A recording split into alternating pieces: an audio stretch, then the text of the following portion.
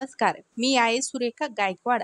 आजच्या या व्हिडिओमध्ये आपण श्री भगवद्गीतामधून शिकू शकणाऱ्या पाच गोष्टीबद्दल जाणून घेणार आहोत आणि समजून घेणार आहोत. चला तर मग जास्त वेळ वाया न घालवता इतिहासाच्या सर्वात मोठ्या ज्ञानाच्या खजान्याने जे या जगातले नाही तर या विश्वाचे सर्वात मोठे प्रेरणादायी स्पीकर श्री कृष्णाने दिले आहे. आणि ते अगदी सहज समजून घेऊन आणि त्याचे सहज पालन केल्याने कोणत्याही व्यक्तीला कोणाला पण हवे ते मिळवता येते. मग तुम्हाला आनंद मिळवायचा असेल किंवा यश मिळवायचे असेल किंवा तुम्हाला मॅनेजमेंट शिकायचे असेल तर भगवद्गीतापेक्षा सर्वश्रेष्ठ कोणताही कोर्स असू शकत नाही. चला तर मग चालू करूया. नंबर ए जगामध्ये चांगले किंवा वाईट कारणाशिवाय होत नाही. एकदा एका राजाचे बोट कापले जाते तेव्हा राजाला वाटते की ही चूक सैन्याची आहे. त्यामुळे तो सैन्याला शिक्षा देतो आणि एकदा राजा शिकार करण्यासाठी जंगलात जातो त्यावेळेस राजा एकटा असल्यामुळे आदिवासी लोक राजाला बंदी बनवतात आणि राजाची बली देण्यासाठी जेव्हा राजाला घेऊन जातात तेव्हा त्याच्यामधल्या एक माणूस जोरात ओरडतो की राजाला एक बोट नाही आहे म्हणून. कारण त्यांचा एक नियम असतो की ज्याची बली द्यायची आहे तो सर्व परफेक्ट पाहिजे. म्हणजे कुठेही तुटलेला नाही पाहिजे. त्यामुळे ते राजाला सोडून देतात. तेव्हा राजाला समजते की जे होते ते चांगल्यासाठी. त्यामुळे आपला पहिला नियम आहे की जे होते ते चांगल्यासाठी. मग ते वाईट होऊ किंवा चांगले होऊ ते कुठल्या तरी कारणासाठी होत असते. नंबर दोन तुम्ही कुठल्याही कंडिशनमध्ये कर्म केल्याशिवाय किंवा त्याचे फळ तुम्हाला भेटल्याशिवाय राहत नाही. कारण असे होऊ शकत नाही. माणसाचे शरीर एक सेकंदासाठीही बिगर कर्म केल्याशिवाय राहू शकत नाही. असे होणारच नाही की या विश्वावरचा एक एक कण सेकंदासाठीही बिगर कर्माचे राहू शकत नाही. आपल्या जीवनाचा अभिन्न हिस्सा आहे. जर आपण झोपत असेल तरी आपले डोके झोपत नाही. कारण आपल्याला स्वप्न पडतात श्वास घेतो. आपल्या शरीरामधले करोडो सूक्ष्मकण त्याचे काम करत राहतात आणि आपण कर्म केल्याशिवाय कधीच राहू शकत नाही. आणि परमेश्वर हेच सांगतात की आपल्याला कुठल्याही कर्मामध्ये बंद करून राहायचे नाही.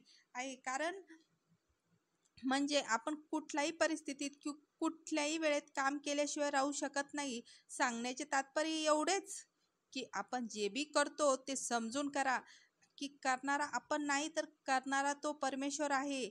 मी तर फक्त एक कारण आहे. कारण हे काम मी करत नाही तर माझ्याकडून करून घेतले जात आहे. आणि जर या लेवलचे झाले तर आपल्याला कधीही दुःख मिळणार नाही कधीही पश्चाताप होणार नाही कधी घमंड होणार नाही. नंबर तीन दुसऱ्याची गुलाम राहण्यापेक्षा स्वतः स्वतःला दुःखाला सामोरे जाऊन स्वतःच्या पायावर उभे राहून खुश राहा. किती बी मेहनत असली तरी जर तुम्ही जर आझाद असेल तर तुम्ही एक वास्तविक माणूस आहात. श्री भगवद्गीतामध्ये गुलामीला मृत्यूपेक्षा पण भयंकर सांगितले आहे. कारण माणूस कशाचे ना कशाचे गुलाम नाही तो आपल्या विचारांचा गुलाम आहे आपल्या डोक्याचा गुलाम आहे. आज आपण स्मार्टफोनच्या विरोधात काम करत आहे तर कोणाचे गुलाम होऊन काम करत आहे? दुसऱ्याचे आधार घेणे दुसऱ्याचे गुलाम बनणे याच्यामध्ये एक रेषा आहे. या रेषेच्या पलीकडे जर गेले ना तर समजा की तुम्ही गुलाम बनले.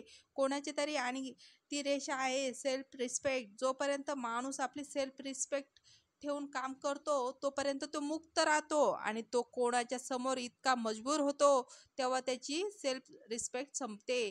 त्याचे जीवन सम समस्याने भरून जाते आणि तू गुलाम होतो. याच्यासाठी गुलाम बनून राहण्यापेक्षा चांगले आहे की तुम्ही आझाद होऊन स्वतःच्या समस्याचे सामना करा. नंबर चार वास्तव इच्छा क्रोध आणि लालच. हे तिन्ही घराचे दरवाजे आहे. इच्छा कुठल्याही मकसदशिवाय आपण जीवन जगत नसतो आणि मकसद पूर्ण करण्यासाठी आपल्याला मनात इच्छा असणे जरुरी आहे. जर तो मकसद केवळ स्वतःपर्यंत सीमित होऊन राहतो आणि तुम्हाला यामुळे काही फरक पडत नसेल कारण तुमच्यामुळे दुसऱ्याचे किती नुकसान होते आहे त्यामुळे ती इच्छा खूप दुःख देते. कारण कधी ना कधी तुमच्या चुकीचा निर्णयाचा सामना तुम्हालाच करावा लागतो. राग रागाच्या बाबतीत काय बोलायचे तरी? राग हा आपला कमजोर करणारा सर्वात मोठा पुरावा आहे. जो माणूस जास्त क्रोध करतो तो खूप जास्त कमजोर असतो. जर कोणाच्या चांगल्या कामासाठी क्रोध केला असेल तर ठीक आहे. पण हे काय आहे की रागामुळे तुमचा बीपी वाढला आहे घामाला आहे पूर्ण आउट ऑफ कंट्रोल झाले आहे. लालच.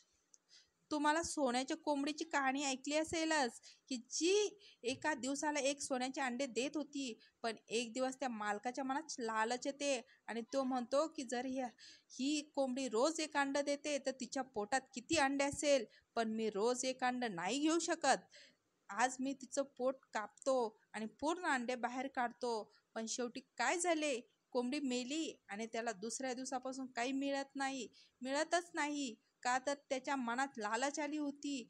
आणि जे भेटत होते ना ते पण त्याच्याकडून सुटले जाते. वासना क्रोध लालच इच्छा हे सर्व नरकाचे दरवाजे आहे. आपण नरकाविषयी बोलत नाही आहे. आपण बघत आहोत नरकासमान जीवन जगणे खूप वाईट आहे.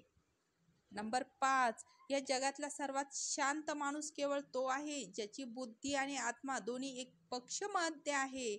ज्याचं डोकं आणि हृदय एकीकडे ऐकण्यात वेगळे आहे पण तो माणूस कधी आनंदी नाही राहू शकत. ज्याच्या विचारात खूप इच्छा असतात आणि इच्छा पूर्ण होत नाही ना तर त्या व्यक्तीमध्ये राग जास्त प्रमाणात येतो. माझं काम का नाही होत? जर तुम्ही स्वतःला तुमच्या हातमध्ये करून तुम्ही ते करतात जे तुम्ही करणार आहात ते तुम्ही करतात आणि जे खरे आहे आणि जे संतुष्टी देते आणि वास्तविकमध्ये तुम्हाला करायचे ते तुम्हाला खुश राहण्यापासून कोणीही थांबू शकत नाही. आपल्या मनात अशांतता राहण्याचे कारण फक्त आपण खूप सारी इच्छा पूर्ण करण्याच्या नादात आनंद बांधून ठेवतो. पण हॅपीनेस काय आहे? इट्स स्टेट ऑफ माइंड आनंद एक मानसिक अवस्था आहे.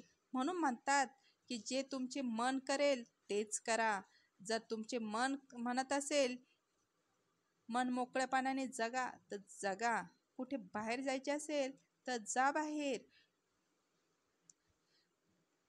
तुमच्या विचाराने तुमच्या हृदयाने सहमत राहा. जर हा व्हिडिओ आवडला असेल तर व्हिडिओला लाईक करा सबस्क्राईब करा बेल आयकॉनवर प्रेस करा. व्हिडिओ पूर्ण बघण्यासाठी थँक्यू धन्यवाद. जय हिंद जय महाराष्ट्र.